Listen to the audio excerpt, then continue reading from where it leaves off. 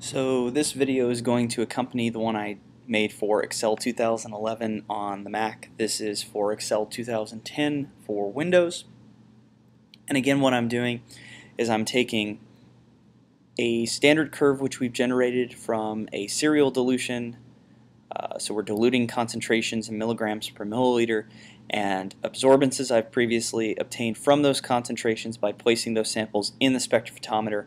We're going to use that information to make a standard curve with a graph and a line of best fit and then from that standard curve we're going to actually then be able to calculate the concentration of an unknown sample if we can at least obtain the absorbance of that unknown sample.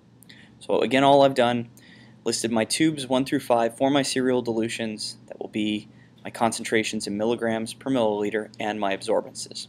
First thing I'm going to do is I'm going to come up here to the ribbon and choose insert and I'm going to put a scatter plot into this sheet. So I'm going to click scatter and it's just going to be this first selection here, scatter with only markers. Okay, and that auto populates with a particular scatter plot. Now, Excel has not populated it with the correct data, so the first thing I'm going to do is I'm going to just delete the legend here, and then I'm going to right click and I'm going to choose select data. That's going to bring up this. I'm actually going to remove my series that Excel has already provided me and I'm going to choose to add a new series. And now it needs the X and Y values. So I don't care about the series name, but I'm going to go to select X values and for the X values I'm going to select B2 through B6. Click this tab again, that'll bring this back up, and then for Y values it's going to be C2 through C6. And then I'm just going to click OK. And click OK. So right now my graph will display that, but those of you who have watched my previous videos know that I don't really care much for grid lines. So I'm going to format a couple of things on my graph here. The first will be to remove these grid lines. So I'm going to right click and choose Format Grid Lines. And I'm going to choose No Line. Close. And now I need to do a little bit of manipulation with the X and Y axis. So the first thing I'm going to do is select the Y axis and I'm going to right click and I'm going to format axis. Okay, so the axis options. The first thing I'm going to do is I'm going to actually do a fixed value for my minimum value on this axis and it's going to be 0. So I'll choose that. I'm going to close that and then I'm going to come and I'm going to do the exact same thing for the x-axis. Format axis by right-clicking and choosing Format Axis.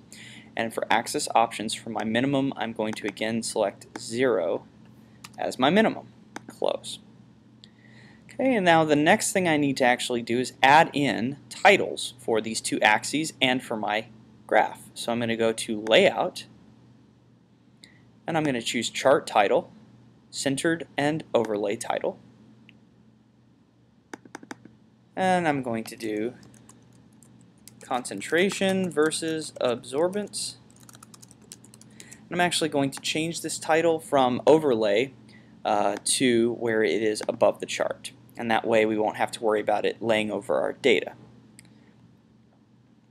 Now I need to give titles to my axes. So I'm going to come up here and choose axes titles from the, the ribbon. Primary horizontal axis title, title below axis, and this is going to be my concentration in milligrams per milliliter. Okay, so there's that axis. And I'm going to do the exact same thing for my vertical axis. I'm going to do a rotated title, and this is going to be absorbance. Okay, so the way that this is set up right now is, I move my graph down just a little bit so it's not blocking these. If I type in values here, let's say I have a hypothetical serial dilution where I dilute it by half every time, and then I have absorbances that correspond to each of those. Then my graph is going to display those absorbances and those concentrations as points but I also want to add a trend line. So I'm going to select my data points, I'm going to right click, and I'm going to choose add trend line. That gives me a linear trend line. Now I'm going to choose line color, um, and it's going to be automatic. And then I'm going to increase the size of the line, or the width, to 1.5, just to make it a little more pronounced.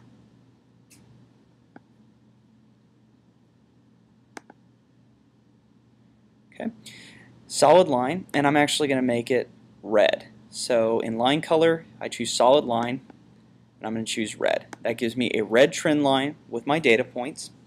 And this is just a really good way to show the line of best fit based on the concentrations and absorbances that you acquired. But this isn't what the question was asked. The question that was asked was, how do I take this information and then get the concentration for an unknown sample? So I'm going to type in unknown absorbance here. I'm going to merge these cells. And then down here, I'm going to do unknown concentration in milligrams per milliliter.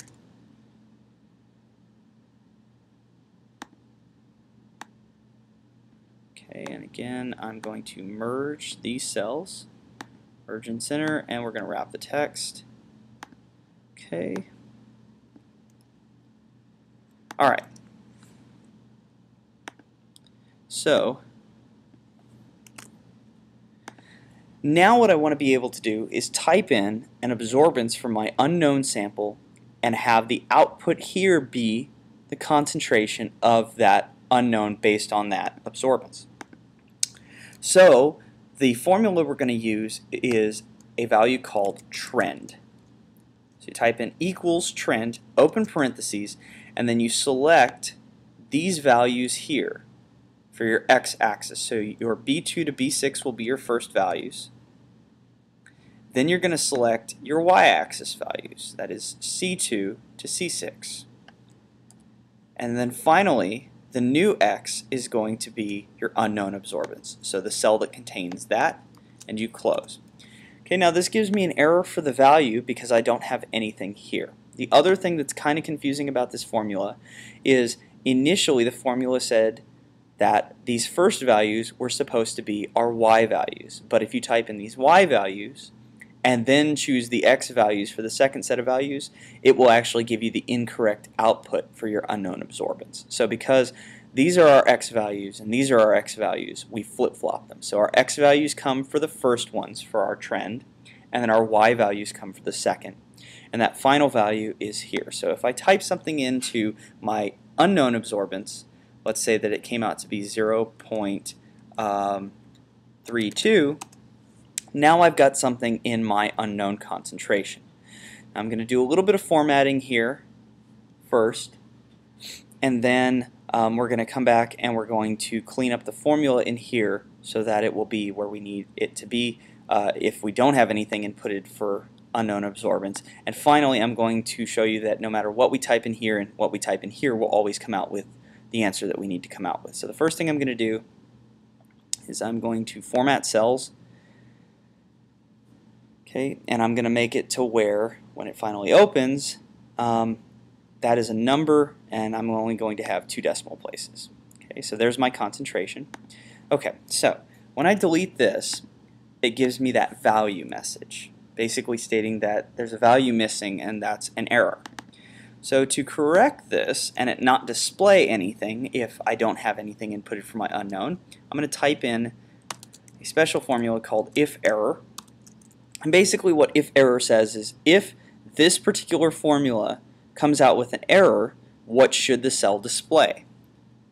So I'm going to put comma, and whatever's after this comma is what the cell will display, and I'm going to do empty quotations. So now it doesn't display anything, but if I type in 0.32, voila, again it shows my unknown concentration. So let me delete this, and I'm going to delete all of these values and show you that no matter what I plug in, it will still generate the same kind of thing. So, 10, here's my new serial dilution. Okay, and then for my values, let's say it's 0 0.7, 0 uh, 0.32, 0.2, 0.07, and 0.05. Okay, then I come over here to my unknown absorbance, and let's say I pick um, an absorbance that's somewhere between 2.5 and 5. So 0.07 and 0.2. Let's say I just pick 0.1. 2.93, which does fall between 2.5 and 5. So I'm going to delete everything except for the formula in this space here. And this is the way I will save this file and make it available to you guys. But that's basically it. That's all there is to it. So that gives you a graph that is, plots the standard curve, the line of best fit, and then also allows you to calculate your unknown concentration if you obtain absorbance.